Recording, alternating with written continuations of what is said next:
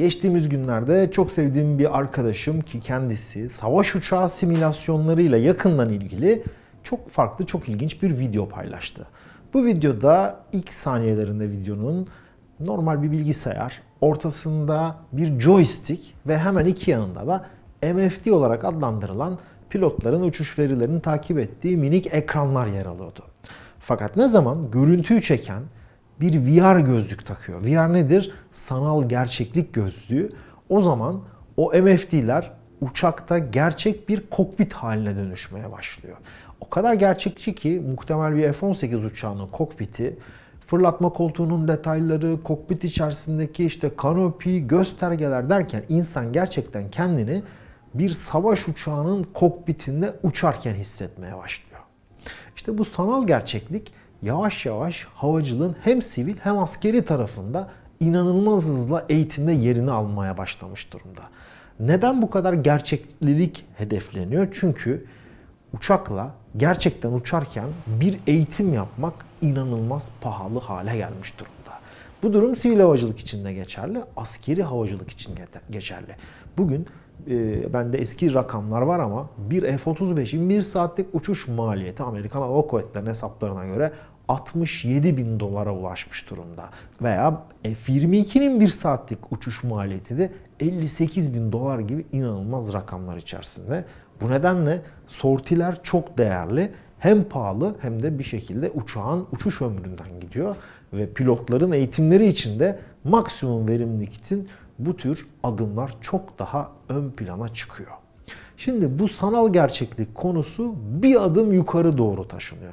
Normalde ne yapılıyordu? İşte yerdeki simülasyonlarda bu kullanılmaya başlanmıştı. Şimdi bu sanal gözlükler gökyüzüne doğru taşınıyor. Amerika'da Red Six, Kırmızı Altı diye bir şirket var. Bu şirketin kurucuları hem oyun simülasyonları yazan yazılımcılardan hem de hava kuvvetlerinden emekli olmuş jet pilotlarından oluşturuluyor. 3 yıl önce bu şirket çok farklı bir teknolojinin üzerinde çalışmaya başladı. Normalde otomobil bilgisayar yarışlarının simülasyonlarında kullanılan bir özellik gökyüzüne doğru aktarıldı. Yani pilot bu VR gözlüğünü taktığı zaman uçtuğu uçak ne olursa olsun bir savaş ortamında görev yapmaya başlayacak. İşte örneğin dogfight yapıyorsa yani havada it dalaşı yapıyorsa bir bakacak koluna F-22 gelecek. F-22 ile beraber göreve çıkacak. Veya bir anda önüne Rusların yeni nesil savaş uçağı Su-57 gelecek. Veya Çinlerin geliştirdiği yeni nesil savaş uçakları gelmeye başlayacak. Uçakla uçarken aynı zamanda yakıt ikmal gerçekleştirecek. Uçağa verilen hedeflerin peşinden gidecek veya hava görevi yapacak. İşte bugünler çok yakın. Kırmızı Altı şirketi önümüzdeki günlerde bu sistemi Amerikan Hava Kuvvetleri'nin jet eğitiminde kullandığı T-38 uçaklarına yerleştirmeye başlayacak ve T-38 uçaklarında öndeki öğrenci görevi uçarken arkadaki öğretmen pilot da uçuş emniyetini sağlayacak ve böylelikle T-38 gibi F-35'e, F-22'ye, F-16'ya göre uçuş maliyetleri daha düşük olan bir uçakta bu görevler gerçekçi olarak yaşanmaya başlanacak. Peki buradaki amaç nedir? Şimdi günümüzde simülasyon teknolojisi o kadar gelişmiş ve o kadar gerçekçi ki uçuş maliyetlerinin, uçuş operasyonunun bir kısmı simülatöre kaydırılıyor. Pilot örneğin Türk Hava Kuvvetleri askeri havacılık için konuşursak askeri havacılıkta uçuş eğitimindeki tüm aşamalarda simülatör derslerini başlıyor. Uçağın bütün acil durumları, neler yapılacak, işte kokpitte nerede ne var, ne yapılıyor, ne ediliyor gibi bütün temel bilgileri bu simülatörler üzerinden alıyor. Daha sonra uçuşlarına gerçek uçakta başladığı zaman birçok konuya intibak edilmiş oluyor. Ama tabii ki simülatörün bir dezavantajı var. Simülatör yerde sabit. İşte bazıları kollarla oynuyor. Kısıtlı bir şekilde hareket kapasitesi var. Ama bu simülatör temel bazı şeyleri yaparken örneğin savaş pilotları için G çekmesi veya hızlanmalar, yavaşlamalar gibi bu etkileri pek fazla pilota yaşatamıyor biliyor. Amerikan Hava Kuvvetleri'nin bu projesinde T-38 gibi çok kuvvetli motorlara sahip yüksek performanslı bir jet uçağında bunun yaşatılarak pilota sanal olarak görev yaptırılması hedefleniyor. Bu tabii ki bir ARGE projesi ama e, çok e, kapsamlı bir ARGE projesi. Lockheed Martin bu kırmızı altı şirketine çok büyük destek veriyor. Demek ki bu sistemleri çok yakın zaman içerisinde savaş uçaklarının, eğitim savaş uçaklarının kokpitlerinde görmeye başlayacağız. Ben şöyle bir örnek vermek istiyorum buna.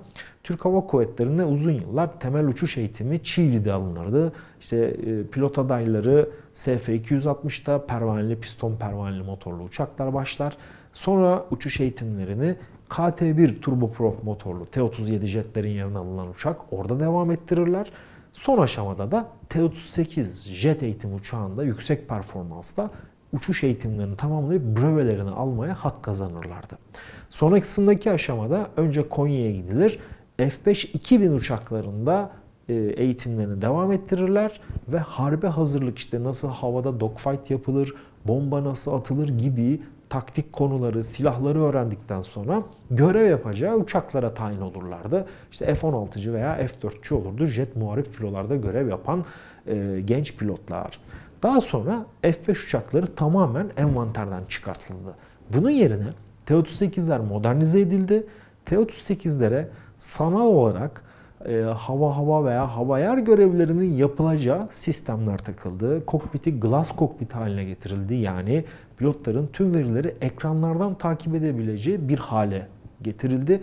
Böylelikle iki uçak tipinden biri emekli edilirken tek uçak tipinde bu görev yapılmaya başlandı. Hedef tabii ki T-38'lerin yenilenerek yerlerine Türk Havacılık ve Uzay Sanayi TUSAŞ tarafından geliştirilen halen tasarımı süren hürjetlere bırakılmazsa. Günümüzde simülatör gerçek bir uçağa uçuşa göre çok daha ucuza mal oluyor ve tabii ki risk yok. Yani herhangi bir kaza riski yok ve aynı zamanda bu sortiler iyi planlandığı zaman iyi öğretmen pilotlar eşliğinde çok daha fazla eğitim bir anda yapılıyor ve eksiklikler tespit ediliyor burada. Örneğin bir pilot adayının hangi konularda eksiklikleri varsa simülatör uçuşlarında ona doğru eğilerek o konularda tekrar gelişim sağlanıyor. Bu durumda uçuş emniyetine ve görevlerin başarı oranına da çok ciddi etki ediliyor. Tabi benzer bir durumun da sivil havacılık içinde geçerli olduğunu belirtmemizde fayda var. Bu işin de bir başka konu tabii ki e-öğretim yani uzaktan bilgisayar üzerinden e-learning denerek e, derslerin görülmesi, altyapının sağlanması. Evet havacılık gördüğünüz gibi pahalı bir sektör ve amaç uçuş emniyetini daha düşük maliyetlerle ama gerçekçi standartlarla yakalayabilmek. Bugün biraz havacılığın geleceğine, eğitim faaliyetlerinin geleceğine, sanal gözlüklerin uçakları ve uçuculuğu nereye doğru taşıcılığına doğru bakmaya çalıştık. Lütfen bize sorularınızı yorum olarak yazın. İşbirlikleri için info.tolgozbek.com adresine maillerinizi, mesajlarınızı bekliyoruz. Detaylı havacılık ve savunma konusundaki haberler tolgozbek.com sitemizde. Bizleri sosyal medyadan da takip edebilirsiniz ama kanalımıza abone olmayı, destek vermek için de katıl tuşuna basmayı unutmayın. Yarın bir sonraki videoda görüşmek üzere. Herkese sağlıklı ve mutlu günler diliyorum.